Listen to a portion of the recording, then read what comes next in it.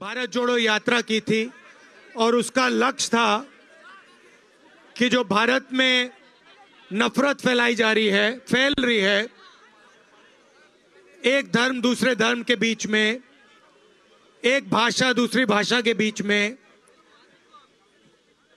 एक प्रदेश दूसरे प्रदेश के बीच में, इसके खिलाफ हम सबको मिलके खड़ा होना चाहिए। आप सहमत हैं इससे?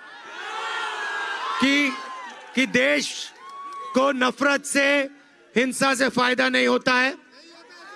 ये अगर कोई भी हिंदुस्तानी शांति से आँख बंद करके अपने आप से पूछे कि नफरत से, हिंसा से मेरा फ़ायदा होता है या देश का फ़ायदा होता है, उसको अंदर से ही जवाब मिलेगा। कि नफरत से, हिंसा से किसी को कुछ फ़ायदा नहीं होता है। मगर मगर हमें देखने को मिल रहा है कि आस्ते आस्ते ये जो मोहब्बत का देश है, इसमें आस्ते आस्ते से नफरत फैलती जा रही है। इसका कारण है, अगर आप किसी भी युवा से पूछो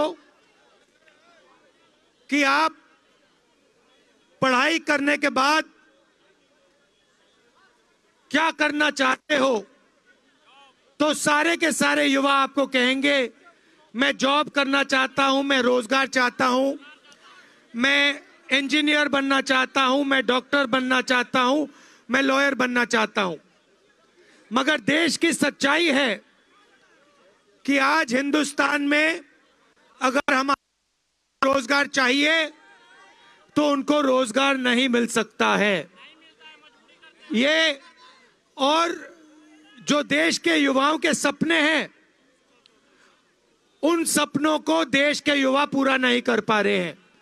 और इसके कारण उनके दिल में नफरत, क्रोध और गुस्सा पैदा हो रहा है।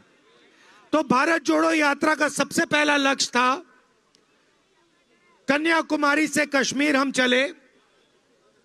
और लक्ष्य था कि हम लाखों युवाओं से, माताओं, बहनों से, बुज़ुर्गों से बात करें, उनके दिल में जो है उसको सुने और उनका हाथ पकड़े और उनके गले लगे। लोगों ने कहा कि आप कन्याकुमारी से कश्मीर गए? मगर बंगाल का क्या होगा? असम का क्या ओडिशा का क्या होगा? नागालैंड, मणिपुर, इनका क्या होगा? इसलिए हमने निर्णय लिया कि हम ईस्ट से वेस्ट, मणिपुर से महाराष्ट्र, फिर से भारत जोड़ो यात्रा करेंगे। और इसीलिए आज हम यहाँ आपके सामने खड़े हैं। सिलीगुड़ी में आपके सामने खड़े हैं।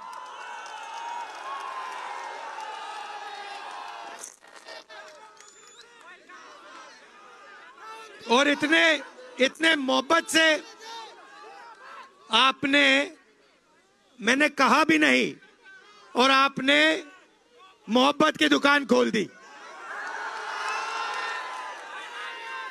और फ्री में दिल खोलकर तो इसके लिए मैं आपको बहुत बहुत धन्यवाद कर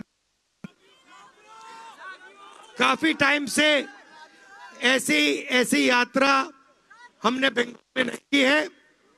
और मैं चाहता था कि मैं आपके बीच में आकर ऐसे दूर से नहीं, स्टेज से नहीं, हेलो हेलो, स्टेज से नहीं, मगर ऐसे आपके बीच में आके आपकी बात सुनो। यात्रा में हम भाषण 15-20 मिनट का करते हैं।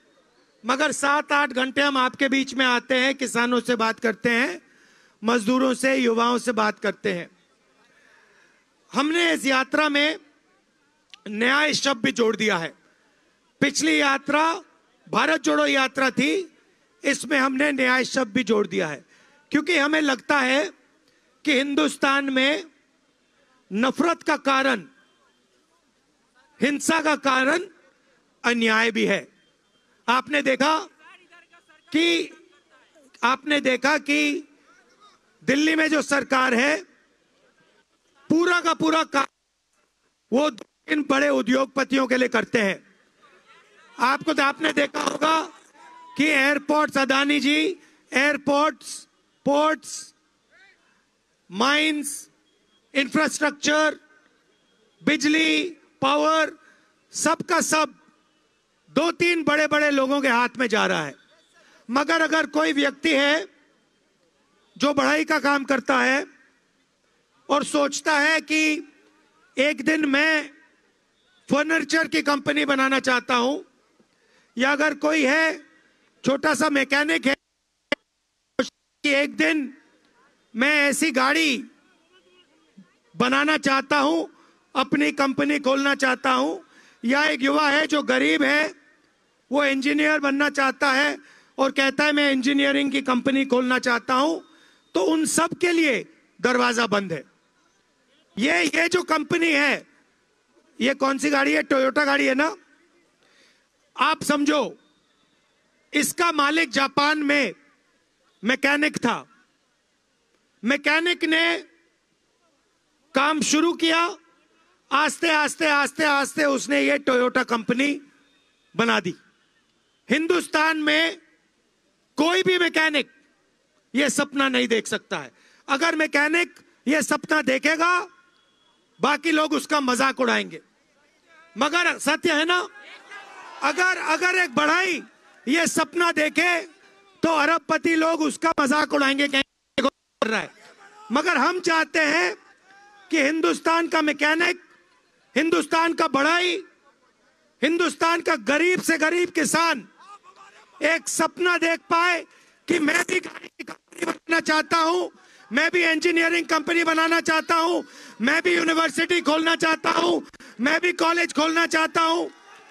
ये तो ऐसा हिंदुस्तान हम चाहते हैं, जिसमें जो काम करता है, जो काम करता है उसकी इज़्ज़त हो।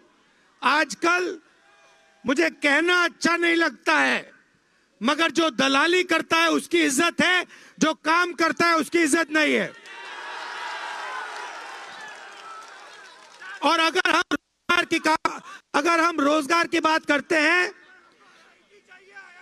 अगर हम रोज़गार की बात करते हैं तो जिस दिन जो हमारा हाथ से काम करता है, चाहे वो मैकेनिक हो, किसान हो बढ़ाई हो जिस दिन उसकी इस देश में इज्जत हो जाएगी उस दिन आसानी से इस देश के युवाओं को रोजगार मिलना शुरू हो जाएगा বাংলার আওয়াজ বাঙালির আবেগ জি চব্বিশ ঘন্টা